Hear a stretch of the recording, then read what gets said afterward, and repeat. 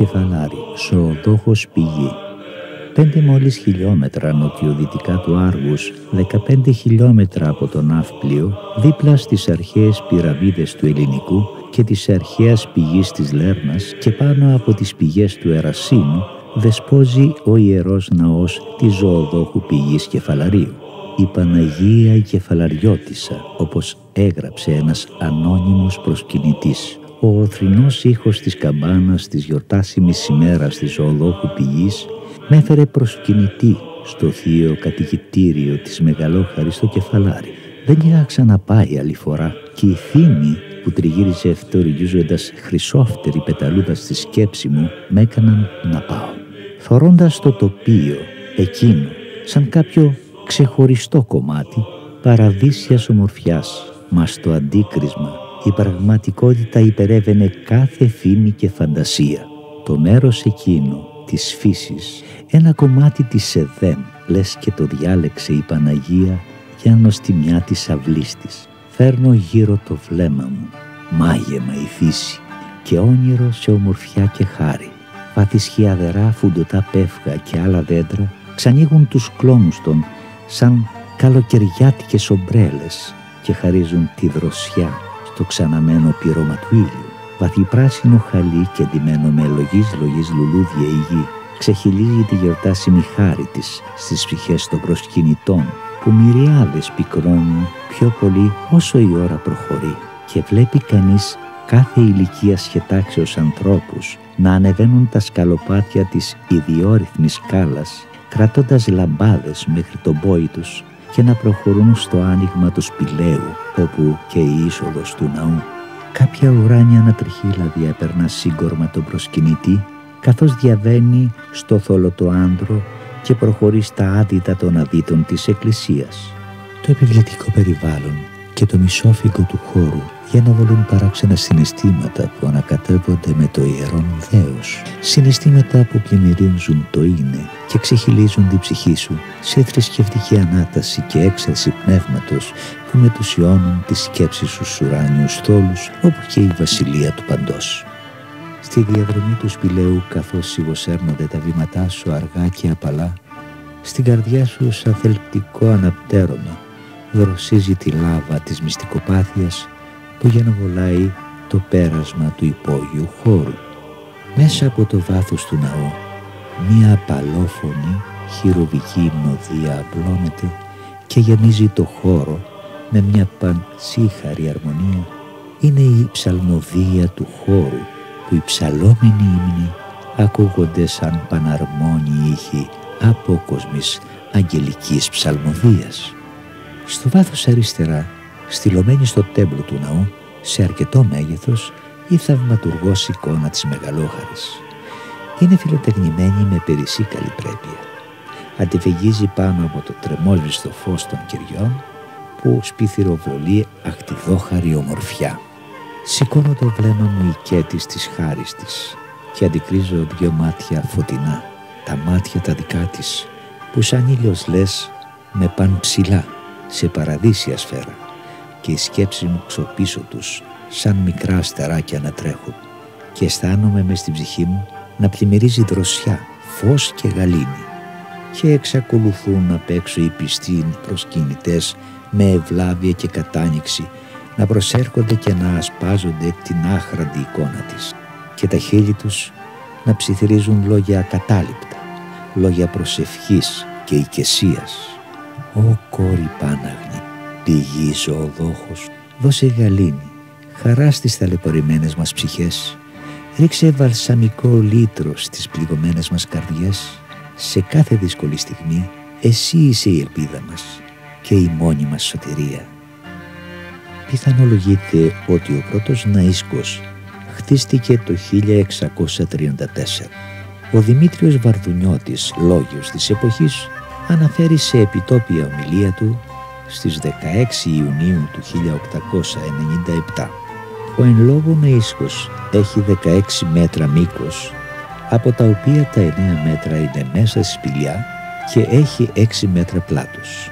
Είναι επίσης πολύ παλιός ναός και μας είναι άγνωστο σε ποια εποχή και για ποιο λόγο ιδρύθηκε εδώ.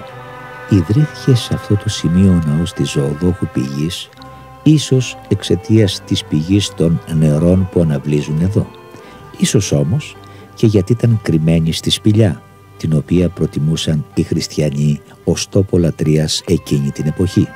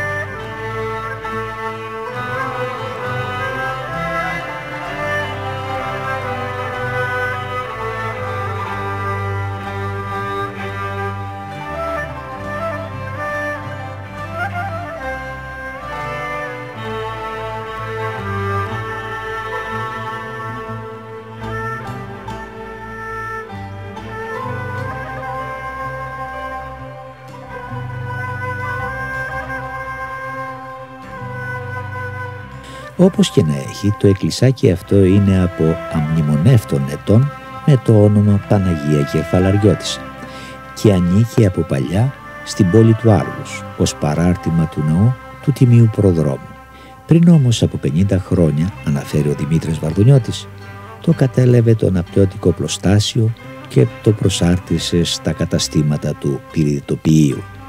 Από το 1912 πλέον ανήκε στον καθεδρικό ναό του Αγίου Πέτρου και το 1985 επί Μητροπολίτου Ιακώβου έγινε ενορία κεφαλαρίου.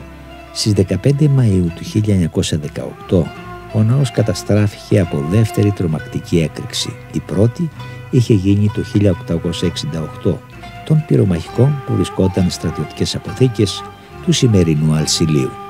Αναφέρεται ότι ο απόϊχος της έκρηξης τότε έφτασε μέχρι τις Πέτσες από την τρομερή αυτή έκρηξη ο ναός καταστράφηκε τελείως και μόνο η Αγία Τράπεζα και η χάρη της έμειναν όρθιες.